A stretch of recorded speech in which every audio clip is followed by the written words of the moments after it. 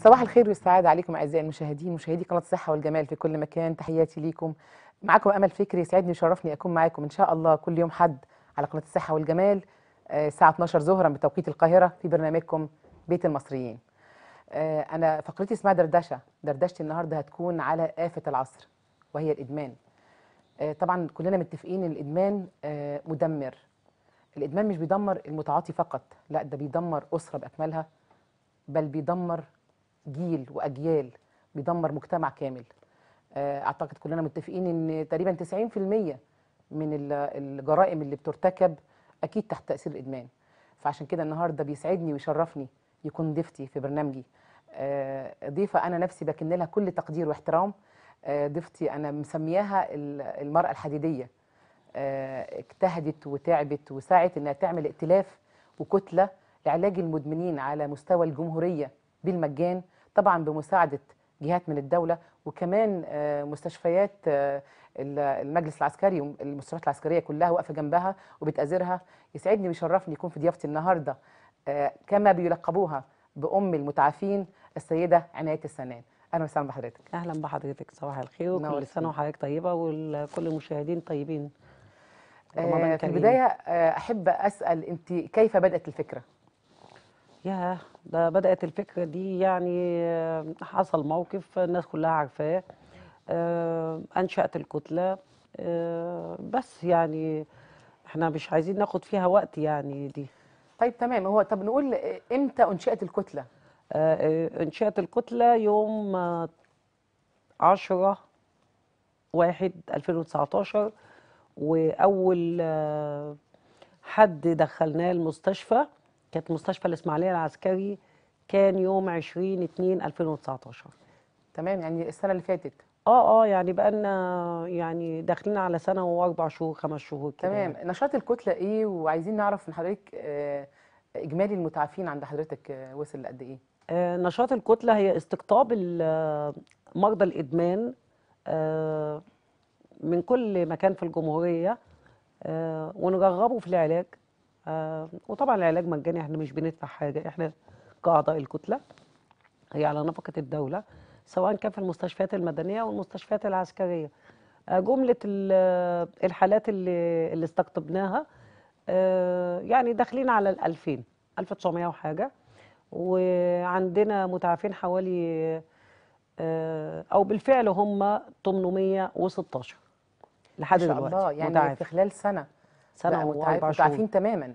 آه متعافين ولكن هم بيكملوا برضه لأن هم بينفذوا برنامج ال ان إيه البرنامج ال ان إيه ال 12 خطوة ممكن ياخدوا سنتين. ولكن هو بيقعد قد إيه في المستشفى؟ ثلاث شهور على نفقة الدولة الإقامة والعلاج مجانا. آه، عايزة حضرتك هو في موسم للتعاطي وموسم للتعافي؟ آه آه، موسم ال- التعاطي اللي هو بتبقى في في الأعياد والمناسبات والأجازات و- وفي في الصيف أيام المصيف والكلام ده. آه، يعني بيبقى عنده أجازة وما أعرف إيه فبتبتدي بقى الخطوة الأولى للإدمان. آه، طبعا بالنسبة لموسم ال- التعافي يعني بعد العيد الصغير. آه، لأن كله بقى كل حد مريض إدمان يقول طب أنا بعد العيد ما أعرف إيه هقضي رمضان مع أهلي.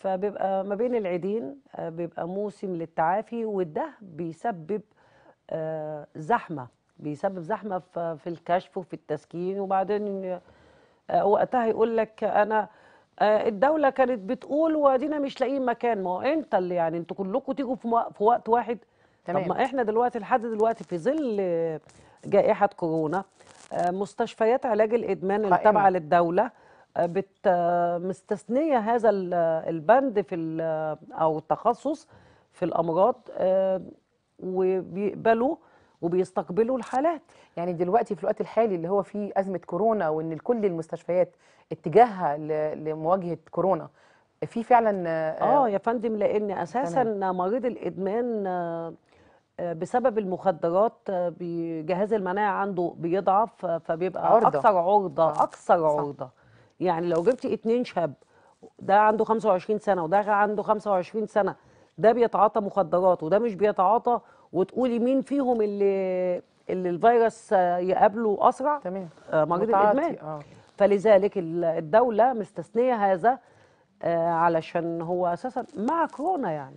تمام. وإحنا شغالين ما ما ما ما, ما, توقفوش يعني، لا ما لا لا توقفتوش. إحنا ما وقفناش. أكيد في علاقة وطيدة بين ال ال الإدمان وبين الجريمة والإرهاب أعتقد. آه طبعا هو يعني مريض اللي في عجالة كده مريض ال- الإدمان طبعا هو بسبب مرضه للإدمان وإن هو بقى آه، مس الإدمان مسيطر عليه فمش بيشتغل.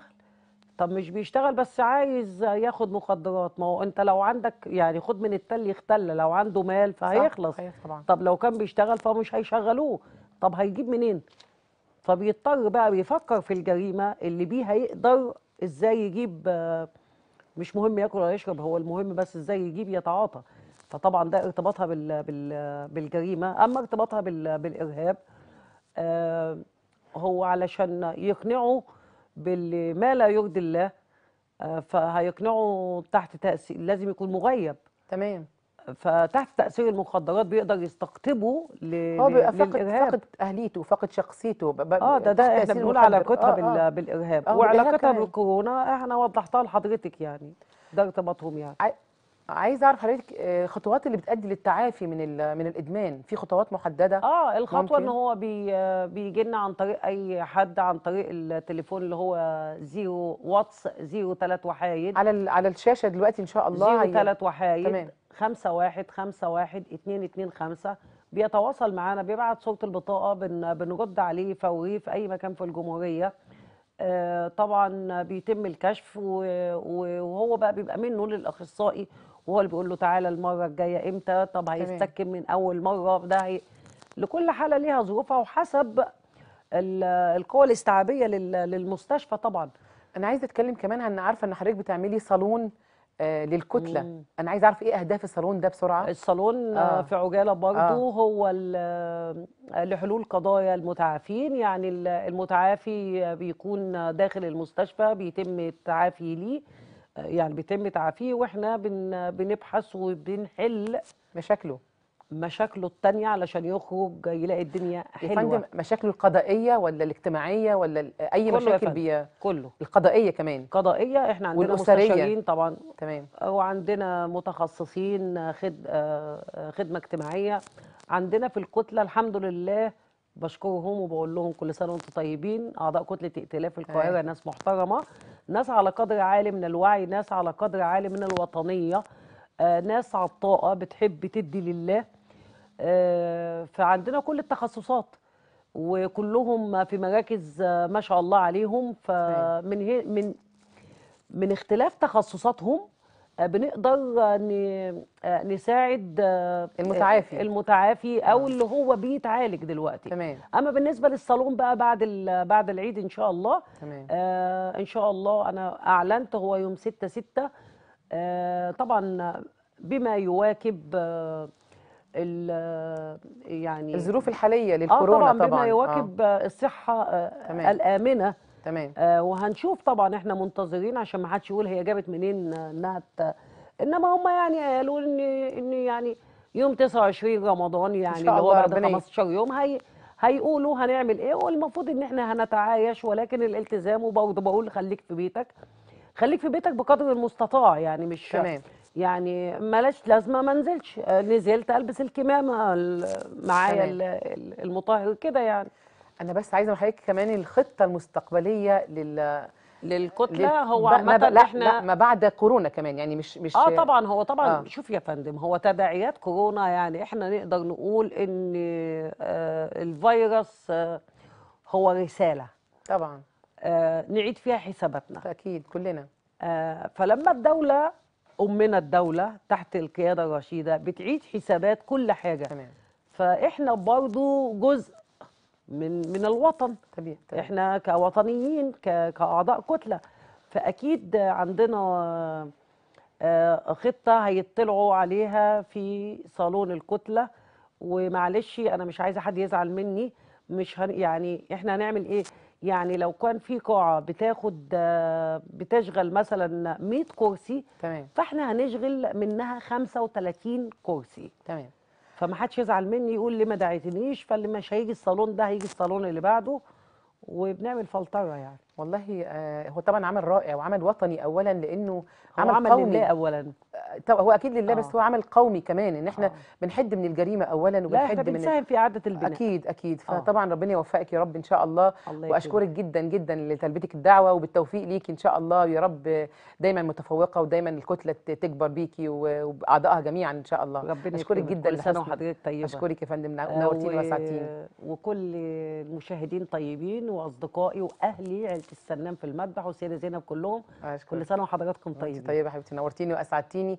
آه،. أنا بس أنا ليا رسالة أخيرة لكل آه، يعني متعاطي. آه، الموضوع بقى بسيط جدا أهوت وبدون وبدون مقابل. فأرجو ابدأوا بقى. يعني استعيدوا نفسيكم تاني وابدأوا إن شاء الله ربنا يا رب يعني يعافي كل مبتلى من الموضوع ده ويحفظ ولادنا جميعا ويحفظ مصرنا الحبيبة. آه، في النهاية أحب أشكرك جدا. آه، أعزائي المشاهدين في النهاية في نهاية اللقاء أحب أشكركم جميعا لحسن المتابعة. تحياتي لكم دمتم في أمان الله وأمنه. والسلام عليكم ورحمة الله وبركاته.